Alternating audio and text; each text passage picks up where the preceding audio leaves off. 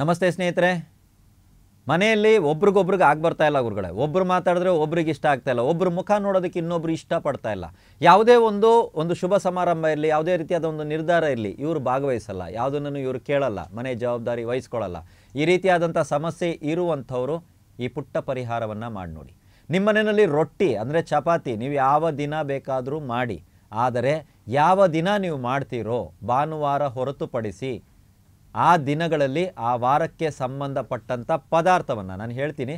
ಅದನ್ನು ಸ್ವಲ್ಪ ಆ ರೊಟ್ಟಿ ಹಿಟ್ಟು ಅಂದರೆ ಆ ಹಿಟ್ಟನ್ನು ಕಲಿಸ್ತೀರಲ್ವ? ಅದರಲ್ಲಿ ಸೇರಿಸಿ ಕಲಸಿ. ಭಾನುವಾರ ಬಿಟ್ಟು ಸೋಮವಾರದಂದು ಅಂದರೆ ಭಾನುವಾರ ದಿವಸ ನೀವು ಕಲಿಸ್ತೀರಾ ಅಂದರೆ ಅದರಲ್ಲಿ ಯಾವುದೇ ರೀತಿಯ ಪದಾರ್ಥವನ್ನು ಕಲಿಸ್ಬೇಡಿ. ಆದರೆ ಸೋಮವಾರದಂದು ನಿಮ್ಮ ಮನೆಯಲ್ಲಿ ಏನಾದರೂ ರೊಟ್ಟಿ ಮಾಡ್ತೀರಾ ಅಂತ ಏನಾದರೂ ಬಂದಾಗ ಬೆಳಿಗ್ಗೆ, ಮಧ್ಯಾಹ್ನ, ರಾತ್ರಿ ಯಾವಾಗಲೇ ಆಗಿರ್ಬೋದು, ಅದರಲ್ಲಿ ತುಸು, ಸ್ವಲ್ಪ ಹಸಿ ಹಾಲನ್ನು ಸೇರಿಸ್ಕೊಳ್ಳಿ. ಆ ಹಿಟ್ಟಲ್ಲಿ ಸ್ವಲ್ಪ ಹಸಿ ಹಾಲನ್ನು ಸೇರಿಸ್ಕೊಳ್ಳಿ. ಮಂಗಳವಾರದ ದಿವಸ ಇದ್ದರೆ ಸ್ವಲ್ಪ ಬೆಲ್ಲವನ್ನು ಸೇರಿಸ್ಕೊಳ್ಳಿ. ಬುಧವಾರದ ದಿವಸ ಇದ್ದರೆ ಸ್ವಲ್ಪ ಧನಿಯಾ ಪುಡಿಯನ್ನು. ಧನಿಯಾ ಪುಡಿ ಬರುತ್ತೆ. ಅದನ್ನು ಸ್ವಲ್ಪ ಸೇರಿಸ್ಕೊಳ್ಳಿ. ಗುರುವಾರ ಇದ್ದರೆ ಸ್ವಲ್ಪ ಅರಿಶಿನವನ್ನು ಸೇರಿಸ್ಕೊಳ್ಳಿ. ಶುಕ್ರವಾರ ಇದ್ದರೆ ಸ್ವಲ್ಪ ಸಕ್ಕರೆಯನ್ನು ಸೇರಿಸ್ಕೊಳ್ಳಿ. ಶನಿವಾರ ಇದ್ದರೆ ಸ್ವಲ್ಪ ಸಾಸಿವೆ ಎಣ್ಣೆನ ನೀವು ಸೇರಿಸ್ಕೊಂಡು ಹಿಟ್ಟನ್ನು ಚಪಾತಿಗಾಗಿ ನೀವು ರೆಡಿ ಮಾಡ್ಕೊಳ್ಳಿ. ಅದಾದ ನಂತರ ಬೇಕಾದ್ರೆ ಚಪಾತಿ, ರೊಟ್ಟಿ ಏನು ಬೇಕಾದ್ರೂ ತಾವು ಮಾಡಬಹುದು. ಇದನ್ನು ಪ್ರತಿ ಸಲ ನೀವು ಇದನ್ನು ಯಾವಾಗ ನೀವು ಚಪಾತಿ ಮಾಡ್ತೀರಾ ಭಾನುವಾರ ಒಂದಿನ ಹೊರತುಪಡಿಸಿ ಬೇರೆ ಯಾವುದೇ ದಿನ ನಾವು ಚಪಾತಿ, ರೊಟ್ಟಿ ಏನಾದರೂ ಮಾಡ್ತಾ ಇರುವಾಗ ಹಿಟ್ಟನ್ನು ಕಲಿಸುವಂಥ ಸಂದರ್ಭದಲ್ಲಿ ಈ ಪ್ರಯೋಗವನ್ನು ಪ್ರತಿ ಸಲ ನೀವು ಮಾಡ್ತಾ ಬನ್ನಿ.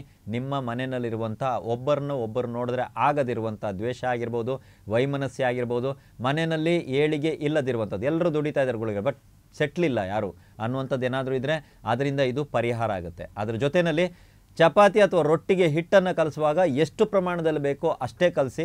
ಕೆಲವರು ಹಿಟ್ಟನ್ನು ಎಕ್ಸ್ಟ್ರಾ ಕಲಿಸ್ತಾರೆ. ಸ್ವಲ್ಪ ದಿನ ತೆಗೆದು ಫ್ರಿಜ್ಜಲ್ಲಿ ಇಡ್ತಾರೆ. ರಾತ್ರಿಗೆ ಮಾಡ್ತೀನಿ ಬೆಳಿಗ್ಗೆಗೆ ಮಾಡ್ತೀನಿ ಅಂತ ಇದು ಪ್ರೇತಗಳನ್ನು ಆಹ್ವಾನ ಮಾಡುತ್ತೆ. ನೆಗೆಟಿವ್ ಎನರ್ಜಿಗಳನ್ನು ನಿಮ್ಮ ಮನೆಗೆ ಆಹ್ವಾನ ಮಾಡುತ್ತೆ. ಸೊ ಅದಕ್ಕಾಗಿ ನಿಮಗೆ ಎಷ್ಟು ಬೇಕೋ ಆ ಟೈಮಿಗೆ ಎಷ್ಟು ಮಾಡಬೇಕೋ ಅಷ್ಟನ್ನು ಮಾತ್ರ ನೀವು ಮಾಡಿ.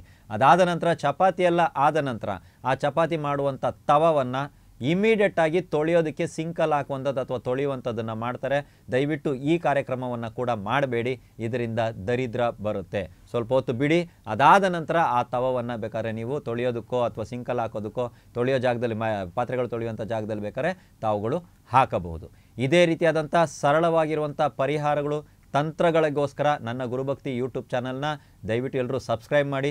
ಇಷ್ಟ ಆಯ್ತು ಅಂದರೆ ಲೈಕ್ ಮಾಡಿ, ಅದ್ರ ಜೊತೆಗೆ ಶೇರ್ ಮಾಡಿ. ಎಲ್ರಿಗೂ ಒಳ್ಳೆಯದಾಗಲಿ.